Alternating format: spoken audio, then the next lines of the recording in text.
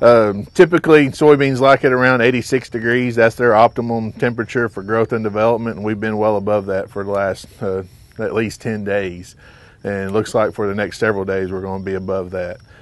Anytime soybeans get any kind of stress, they kind of start shedding pods, shedding blooms to, to try to eliminate some of that stress. And so I've had several calls the last several uh, probably last 10 days on uh, soybeans starting to shed pods, starting to shed uh, blooms.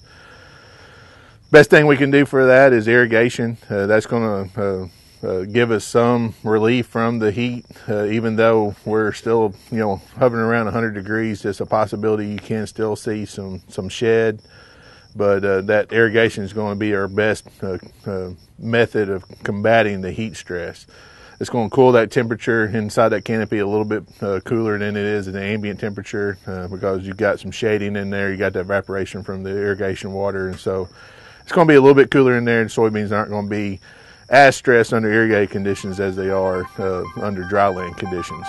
Your Arkansas Soybean Podcast is a production of the University of Arkansas Division of Agriculture and was funded in part by the Arkansas Soybean Promotion Board. For more information on soybean farming in Arkansas, contact your local county extension office.